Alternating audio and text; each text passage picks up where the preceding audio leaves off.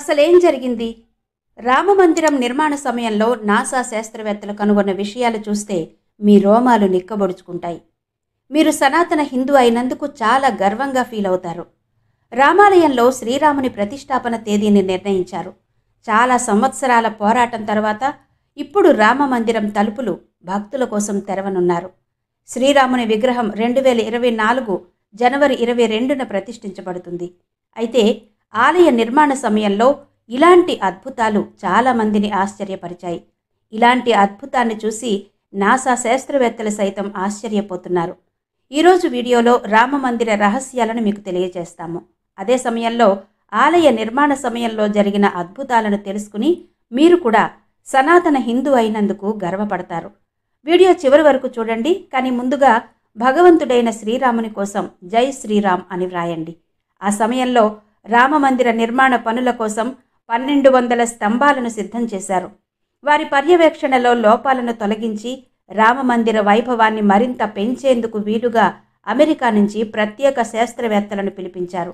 అయితే రామమందిర నిర్మాణ సమయంలో తవ్వకం పనులు జరుగుతున్నప్పుడు కింద నుంచి బయటకొచ్చిన ఒక విషయం అందరినీ దిగ్భ్రాంతికి గురిచేసింది రామమందిరం తవ్వకాలలో అసలేం దొరికింది? ఇది చూసి ప్రభుత్వంతో పాటు అందరూ ఉలిక్కిపడ్డారు.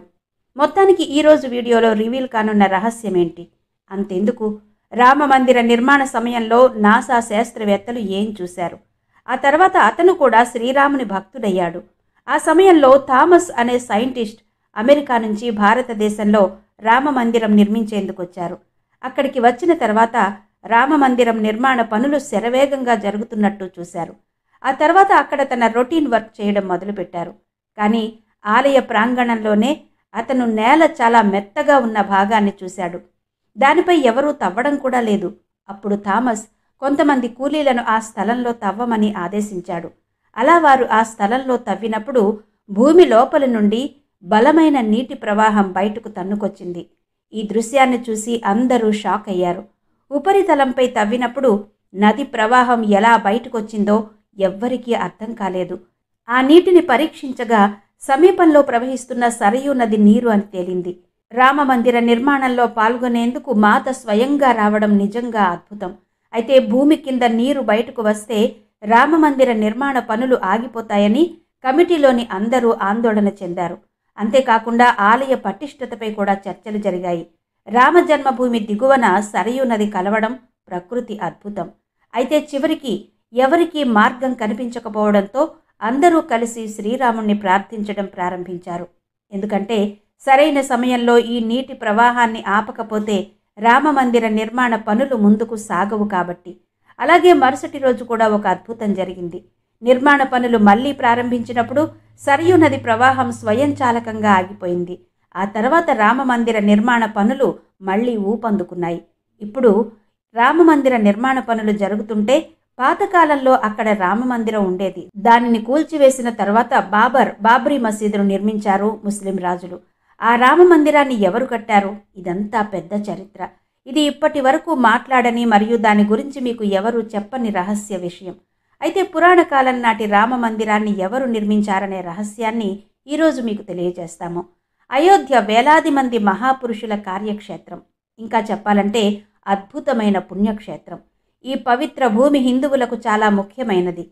రాముడు ఇక్కడే జన్మించాడు. ఇది రాముని జన్మస్థలం. రామ జన్మభూమిపై ఒక గొప్ప ఆలయాన్ని నిర్మించారు.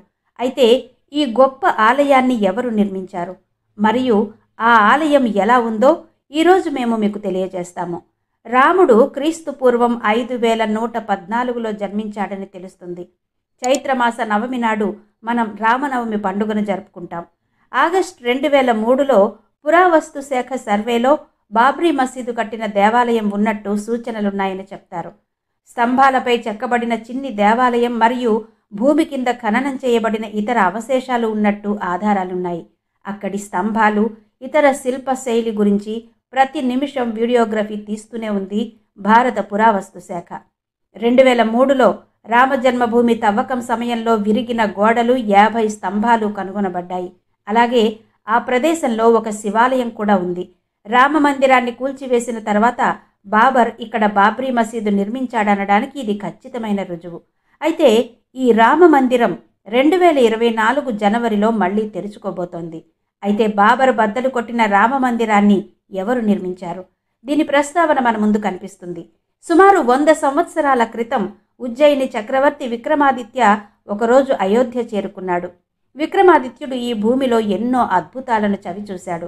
ఇక సమీపంలోని యోగులు మరియు సాధువులు చెప్పిన దాని ప్రకారం ఇది శ్రీరాముడి భూమి అని తెలుసుకుని ఆ సాధువుల సూచనల మేరకు విక్రమాదిత్య చక్రవర్తి ఇక్కడ బావి సరస్సు మరియు రాజభవనంతో పాటు ఒక గొప్ప ఆలయాన్ని నిర్మించాడు. శ్రీరాముని జన్మస్థలం వద్ద నల్ల రంగు రాతితో ఎనభై నాలుగు స్తంభాలపై భారీ ఆలయాన్ని నిర్మించాడని చెబుతారు. ఈ ఆలయ వైభవం చూడదగినది. రామ్లాలా దర్శనం కోసం ప్రజలు సుదూర ప్రాంతాల నుండి ఇక్కడికి వచ్చేవారు ఆ తర్వాత ఈ ఆలయాన్ని వివిధ రాజులు పునరుద్ధరించారు. అయితే ఈ ఆలయం ఎప్పుడు పడిపోయింది? ఈ ఆలయం ఎప్పుడు ధ్వంసం చేయబడింది? ఈ నిజం తెలిస్తే మీ కాళ్ళ కింద భూమి కదిలిపోతుంది. ఆ సమయంలో భారతదేశంపై మొఘల్ ఆక్రమణదారులు దాడులు పెరుగుతున్నాయి. ఆక్రమణదారులు కాశీ మధురతో పాటు అయోధ్యను దోచుకోవడం ప్రారంభించారు. పూజార్లను చంపడం ద్వారా వారు విగ్రహాలను ధ్వంసం చేయడం కొనసాగించారు. కానీ వారు పద్నాలుగో శతాబ్దం వరకు రామ మందిరాన్ని విచ్ఛిన్నం చేయలేకపోయారు. అనేక దాడుల తర్వాత కూడా శ్రీరాముని జన్మస్థలం వద్ద ఉన్న మహాదేవాలయం చెక్కు చెదరలేదు. కానీ సికందర్ లోధి హయాంలో మీ కంట కన్నీరు తెప్పించే ఘటన ఇక్కడ జరిగింది. చివరికి పదిహేను వందల ఏడులో అయోధ్యలో ఉన్న గొప్ప రామ మందిరాన్ని పడగొట్టారు. అదే నిర్మాణం ద్వారా బాబర్ అక్కడ బాబ్రీ మసీదును నిర్మించాడు. ఇది పంతొమ్మిది వందల తొంభై వరకు ఉంది. కానీ పంతొమ్మిది వందల తొంభైలో వీర హిందువులు కరసేవ నిర్వహించి బాబ్రీ మసీదు నిర్మాణాన్ని కూల్చివేశారు.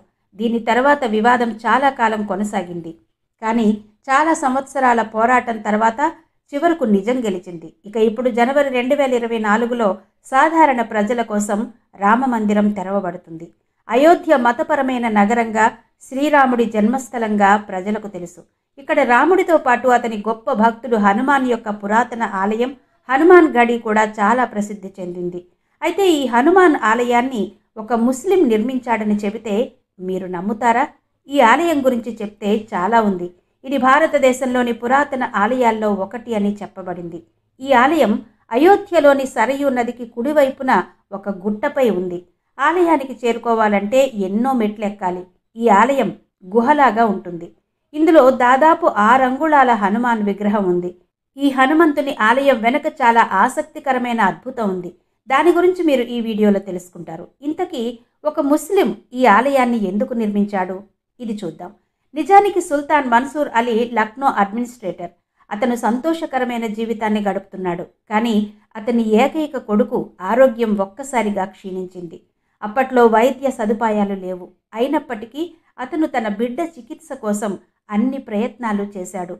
మరియు అతనికి గొప్ప గొప్ప వైద్యులతో ట్రీట్మెంట్ కూడా చేయించాడు. కానీ అది అస్సలు నయం కాలేదు. మన్సూర్ కుమారుడి రోగం ఎవరికీ అర్థం కాకపోవడంతో చివరికి అందరూ చేతులెత్తేశారు. సుల్తాన్ అలసిపోయి ఓడిపోయినప్పుడు అతను హనుమాన్ పాదాలకు నమస్కరించాడు. చివరకు తన బిడ్డ ఆరోగ్యంగా ఉండాలని హనుమంతునికి మొరపెట్టుకున్నాడు. ఇంత చేసిన తర్వాత ఏం అద్భుతం జరిగిందో తెలుసా? సుల్తాన్ కొడుకు క్రమంగా కోలుకోవడం ప్రారంభించాడు. అకస్మాత్తుగా అతని ఆరోగ్యంలో మంచి మార్పులు రావడం ప్రారంభించాయి. సుల్తాన్ మన్సూర్ తన బిడ్డ కోలుకున్న తర్వాత అతను చాలా సంతోషించాడు. హనుమంతుని పట్ల అతని భక్తి మరింత పెరిగింది. మన్సూర్ ఈ ఆలయాన్ని పునరుద్ధరించాడు. అతను హనుమాన్ ఆలయాన్ని నిర్మించడానికి హనుమాన్ గడి నిర్మాణం కోసం యాభై రెండు బిఘాల భూమిని విరాళంగా ఇచ్చాడు. అలా ఇక్కడ ఆలయం నిర్మితమైంది. దీని తర్వాత సుజన్దుల్లా ఈ హనుమాన్ గడి ఆలయానికి గ్రాండ్ లుక్ ఇచ్చారు. నేటికి సజీవంగా ఉండే దేవుళ్ళలో హనుమాన్ ఒకరు. అంటే కలియుగంలో కూడా ఆయన మన మధ్య ఉన్నారని అర్థం. నేటికి భక్తులు తమ కోరికలతో హనుమాన్ గడికి వచ్చి కోరుకున్న ఫలితాలు పొందుతారు. ఇక్కడ హిందువు ముస్లిం అనే తేడా లేదు. ప్రతి ఒక్కరి కోరికలు నెరవేరుతాయి. ఎందుకంటే ఈ ఆలయాన్ని ముస్లిం వ్యక్తి నిర్మించాడు. ఇక్కడ భయం నుండి విముక్తి లభిస్తుంది. మరియు వ్యక్తి సరైన మార్గంలో నడవడానికి అవకాశం లభిస్తుంది. హనుమాన్ రాముడికి గొప్ప భక్తుడు. అతను నిస్వార్థంగా రాముణ్ణి ఆరాధించాడు. మనం కూడా నిస్వార్థంగా భగవంతుణ్ణి వెతకాలి అనే సందేశం ఆయన భక్తి నుండి మనకు లభిస్తుంది. మరి మిత్రులారా రెండు వేల ఇరవై నాలుగు జనవరి ఇరవై రెండున రావడం చాలా సంతోషకరమైన విషయం.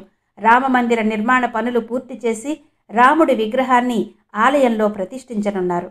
ఈ అద్భుతమైన అవకాశంలో మీరు భాగస్వామి అవుతారా? మీరు భవిష్యత్తులో రామ మందిరాన్ని సందర్శించాలనుకుంటున్నారా? వెంటనే మీరు కూడా అయోధ్యకు వెళ్ళండి. మరి ఈ వీడియో మీకు ఎలా అనిపించిందో క్రింద కమెంట్ సెక్షన్లో చెప్పండి.